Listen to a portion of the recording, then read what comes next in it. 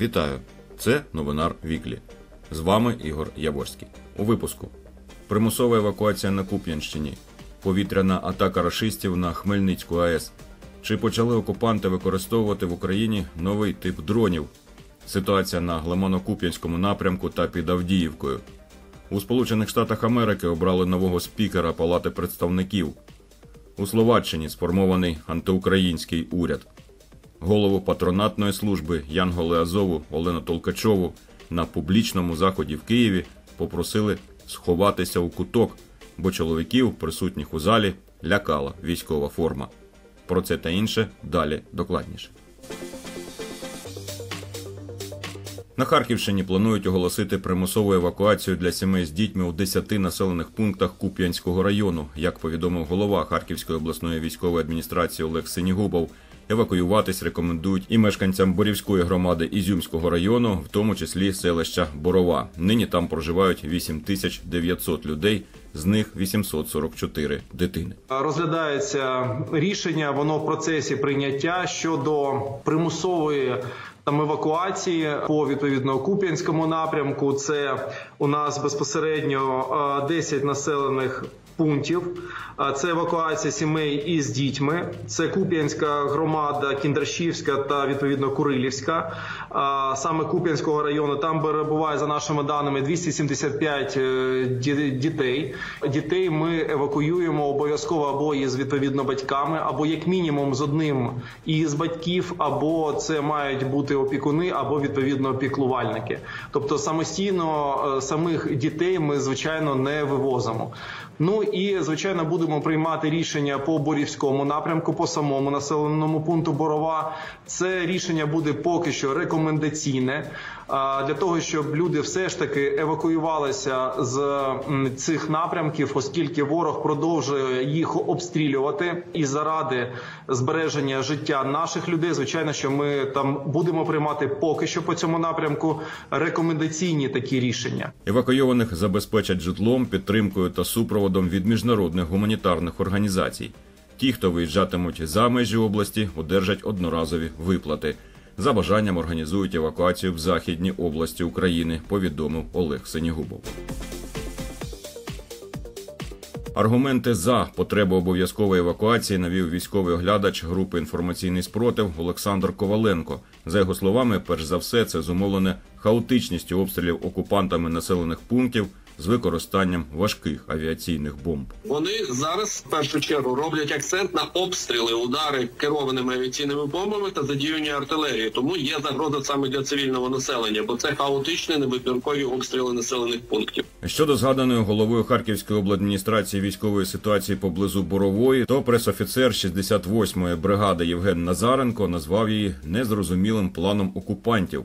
Чому пояснив так. В чому прикол? Вони їхав, їдуть цими колонами на танках, вони на танках возять піхоту. Вони заїжджають на одне перехрестя, де у нас пристріляна артилерія, і ми їх знищуємо. Потім виїжджає друга група, стає так само, їм треба повернути, щоб рухатися далі. Ми знову їх знищуємо.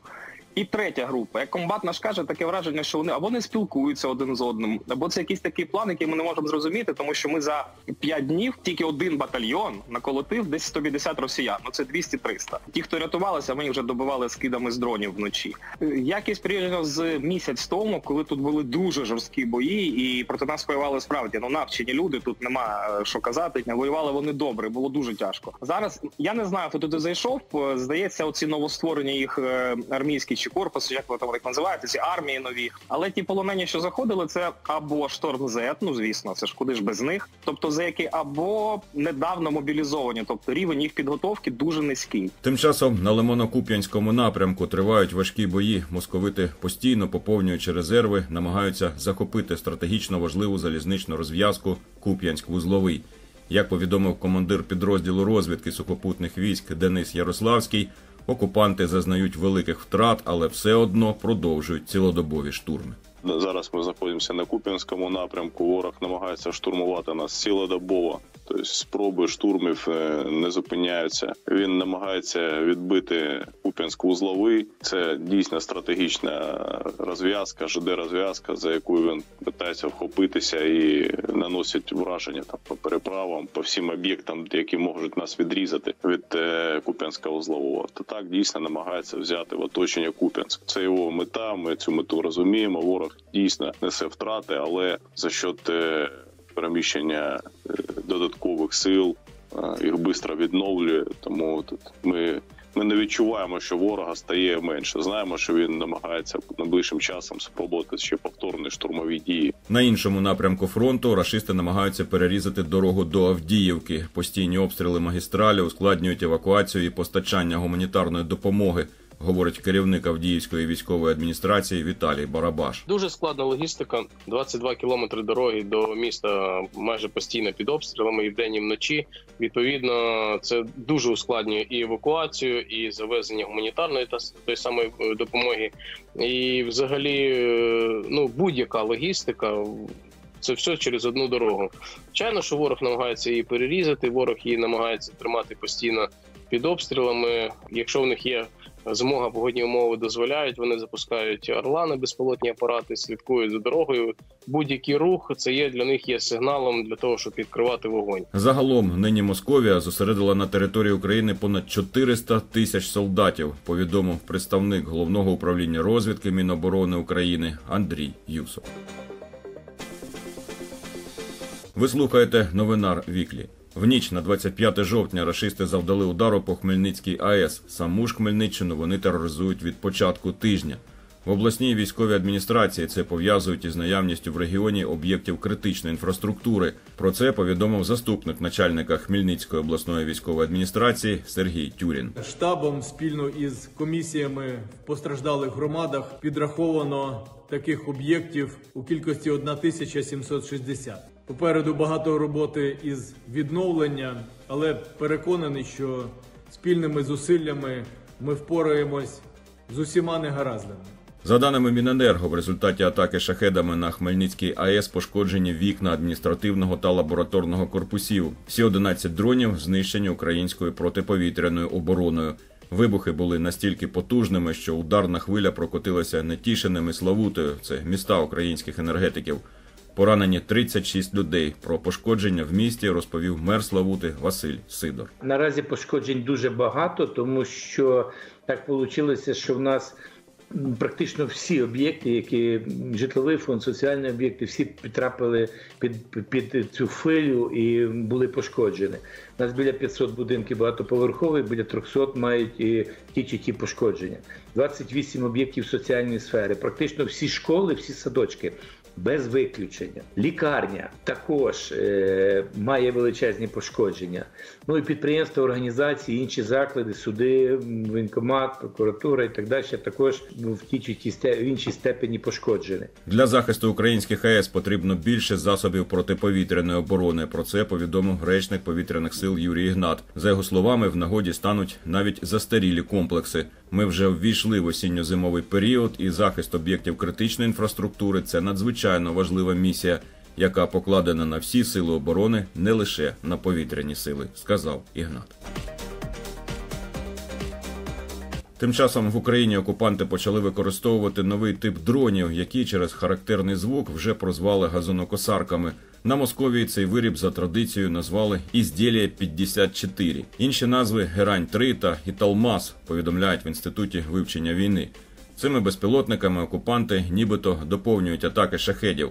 Це додатковий сигнал, що нам слід посилювати протиповітряну оборону, говорить військовий експерт Сергій Грабський. І більш ніж півтора року війни має примусити навіть росіян робити щось своїми власними зусиллями, тим більше, що навчившись іранців виробляти примітивні, але досить небезпечні іграшки, вони тепер можуть е, завдавати нам шкоду. Це додаткове наше застереження щодо необхідності посилення нашої протиповітряної оборони. Не настільки категоричний гречник повітряних сил Юрій Ігнат. За його словами, це може бути як поодиноке пробне використання Італмасу, щоб перевірити можливості перед серійним виробництвом, так і застосування іншого дрона. В будь-якому разі потрібні додаткові розвідувальні дані. Такі БПЛА уже неодноразово залітали е, в наш повітряний простір на різних напрямках. От такі кустарного методу зліплені. Наші медіа біжать наперед, як у випадку з F-16, беруть от власне і вже проводять власні розслідування журналістські і так далі. А потім уже е, слідом за нашими е, медіа е, вмикаються аналітики інституту вивчення війни і шляхом наших публікацій е, беруть і роблять певні висновки. Тому треба дивитись дані розвідки. Треба розуміти, що це було. Чи це цей безпілотник, чи це просто таким чином кустарно зроблений двигун, від якого було і знайдено, і е, зафіксовано на фото. До міжнародних подій. Палата представників США підтримала кандидатуру Майка Джонсона на посаду спікера. Вперше від початку жовтня їм вдалося зібрати достатню кількість голосів. За даними Reuters, 51-річний Джонсон стане найменш досвідченим спікером палати за останні десятиліття. Він відносний новачок у політиці, голосував проти додаткової допомоги Україні. У травні 2022-го він наполягав, що допомога Україні не має переважати над внутрішніми справами Сполучених Штатів. Також відомий активною підтримкою позиції Трампа під час слухань щодо імпічменту експрезидента, пише Голос Америки. Трамп уже закликав однопартійців об'єднатися навколо Джонсона, який належить до ультраправих республіканців. Сам же новообраний спікер заявив, що готовий обговорити питання допомоги Україні. Ми не можемо дозволити Путіну перемогти в Україні, тому що я не вірю, що на цьому все закінчиться. Це ймовірно підштовхне Китай вдіяти щось стосовно Тайваню. В нас є такі побоювання. На нас покладена відповідальність за управління фінансами людей Америки. Ми маємо переконатися, що Білий Дім відповідально витрачає ці долари. Президент США Джо Байден привітав Джонсона на посаді та закликав його сприяти ухваленню в Конгресі додаткового фінансування для України.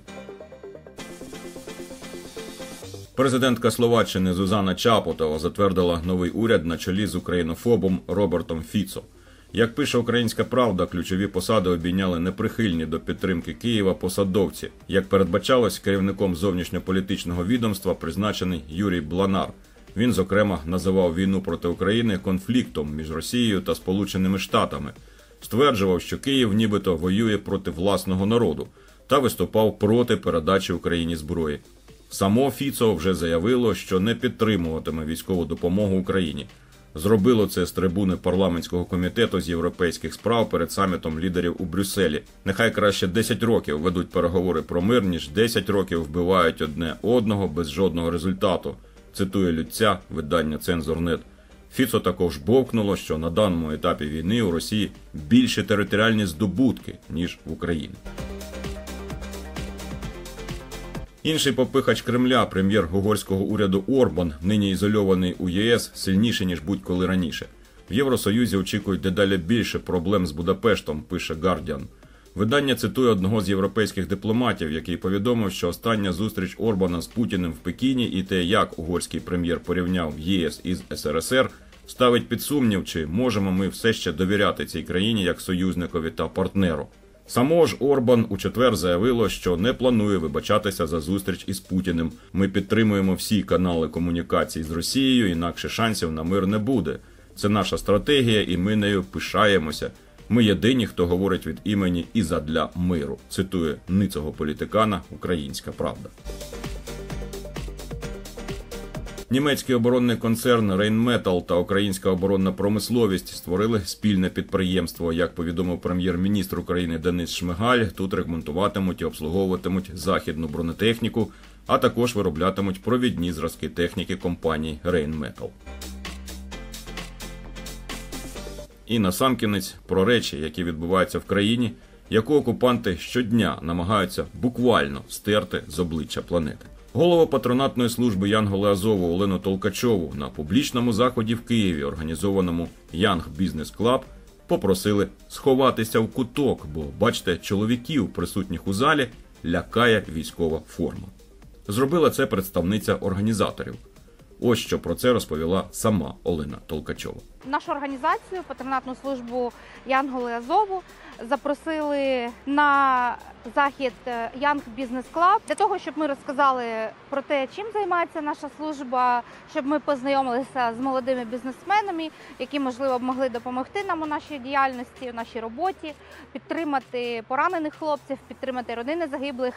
Але ми стикнулися з шокуючою, просто дикою ситуацією, коли до нас через 30 хвилин після того, як ми е, знаходилися на цьому заході, підійшла одна з представників організаторів і попросила сховатися десь у кутку, тому що чоловіків, які знаходяться на цьому заході, пугає військова форма.